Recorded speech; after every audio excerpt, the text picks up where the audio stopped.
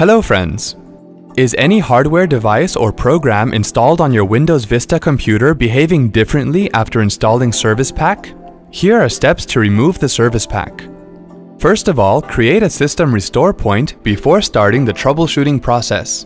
To do so, right-click on the computer icon on the desktop and then click Properties.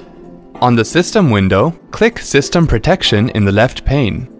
On the System Properties window, click Create under System Protection tab. Type the name for the restore point and then click Create. Wait for the process to complete and then click OK. Click OK again and then close the system window. Now you can start the Service Pack uninstallation process. Click Start and type Programs and Features in the search field. Click on Programs and Features from the Programs list. Click on View Installed Updates from the left panel.